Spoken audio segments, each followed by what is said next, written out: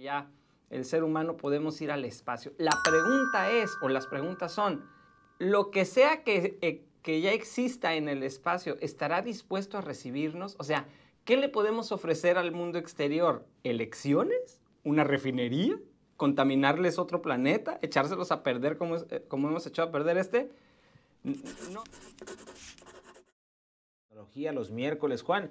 ¿A dónde se te antoja irte de vacaciones en unos 15 años, Juan? Manuel, eh, pues definitivamente al espacio. Al espacio, a la luna. Ah, pues no sé, no sé qué, qué, qué planes vaya a haber o qué destinos, pero al espacio. Ayer Jeff Bezos fue y vino prácticamente al espacio, invitó a su hermano y a otras dos personas. Una de ellas era una señora de la tercera edad que se convirtió en, el- en la astronauta, mm, pues más viejita en ir al, al espacio, creo que ochenta y tantos años un muchacho que compró, eh, que es el astronauta más joven, de 18 años, que se ganó el boleto en algún tipo de, de, ¿De rifa, subastas. sorteo? Él, él lo compró. Y Una de bueno, las rifas que hace el presidente, ¿verdad? Esas que- no, esta sí funcionó y, y fue muy efectiva. Y fueron y vinieron al espacio.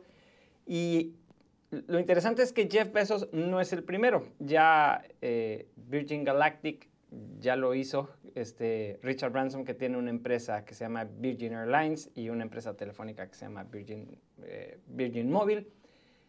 Elon Musk, pues desde cuándo está haciendo esto con SpaceX. El hecho es que estos tres personajes ya están súper metidos en el tema de, de los viajes al espacio de manera comercial o de manera turística o lúdica. A mí, pues eso me da mucha emoción, pero me surge una pregunta que sí va a pasar dentro de 10, 15 o 20 años el turismo espacial. Eso es un hecho. Eso, Es eso una ya- realidad, ya, vamos a... eso- ¿Sabes qué? Se me antoja ir a Júpiter. a una cosa así, sí. exactamente. Pero Eso- tienes que tener dinero, ¿no? O sea, no... Para ir a Mazatlán también. Entonces, o sea, para ir a donde sea necesitas dinero. ¿Habrá COVID en el espacio? Muchos estarán preguntando. Esa es, la pre- esa es una de las preguntas que, que me surgió ayer mientras escribía mi columna. Dije, bueno, sí está muy padre que ya el ser humano podemos ir al espacio. La pregunta es, o las preguntas son, lo que sea que, eh, que ya exista en el espacio, ¿estará dispuesto a recibirnos? O sea, ¿qué le podemos ofrecer al mundo exterior? ¿Elecciones? ¿Una refinería? ¿Contaminarles otro planeta? ¿Echárselos a perder como, eh, como hemos echado a perder este? No sé, o sea, son sentimientos encontrados. Sí me da muchísimo gusto el tema de- de poder ir al espacio, pero ¿hasta dónde están dispuestos quien sea o lo que sea que esté en el espacio a recibirnos? La verdad es que ¿Qué le somos una raza... aportar, no? Somos una raza muy, muy tóxica, muy contaminante, muy destructiva. Entonces, pues, a, ver, a ver en qué acaba. Está súper, súper interesante.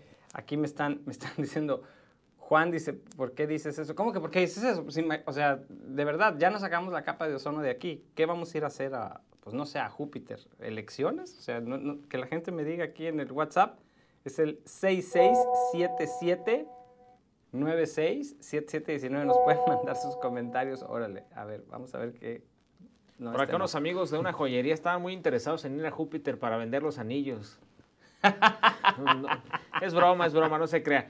Me llama la atención, Juan, esta parte de, de esto que comentas de los viajes al espacio, porque prácticamente ese es un grupo de millonarios, son unos personajes muy conocidos, Elon Musk, tipo Tony Stark, así. Hace cuenta. Pero también le están aportando mucho al mundo.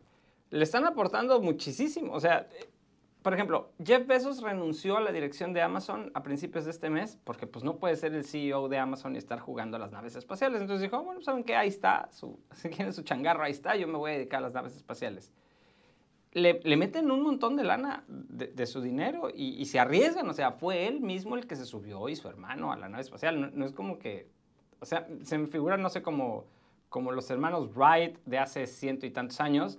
O sea, fíjate cómo hemos Puso en ofrenda su vida por este descubrimiento, por este avance, prácticamente por estos viajes comerciales. Exactamente, o sea, hace 110 años no podíamos volar, o sea, no había aviones. Y hoy, bueno, ayer, ni siquiera hoy, ayer, este cuate fue y vino en 10 minutos. En, en redes sociales explotaron los memes porque decían, Jeff Bezos ya fue y vino al espacio y el camión no ha pasado. O sea, está muy, muy, muy padre. la Pues verdad. muy interesante, la verdad. Es, Superinteresante. es- es algo que pues soñábamos hace algún tiempo y que lo estamos viendo La, historia de, de, Bezos es muy interesante porque él empezó en su cochera, me comentabas hace un momento, él, vendiendo libros y mira, pues, llegar al espacio. Él empezó en la cochera de su casa vendiendo libros por internet. Todo el mundo le dijo que, pues, que estaba loco, que eso no iba a funcionar, que quién iba a querer comprar algo a través de su sitio web que se llamaba, se llama todavía Amazon. Decían, no, eso no va a servir. Bueno, y él ahí no quitó el dedo del renglón. La constancia es lo que, lo que los ha distinguido a los tres, ¿no? A Jeff, a Richard Branson y, a Elon Musk. Entonces, pues son ejemplos a seguir. Vamos a ver en qué acaba esto. Y de verdad, sí me encantaría que si hay alguien de otro planeta escuchándonos, porque Luz Noticias no nada más escucha en el estado de Sinaloa. todo porque estamos en internet, en Luz Noticias MX, en estéreo 1.fm.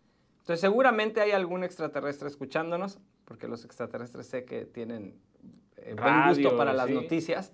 Entonces, sí, sí, por supuesto. Por favor, que nos manden un mensaje los extraterrestres si, si quieren recibirnos. Yo, por mi parte, prometo no contaminarles mucho, y, pero pues no, no, sé qué opinen ellos.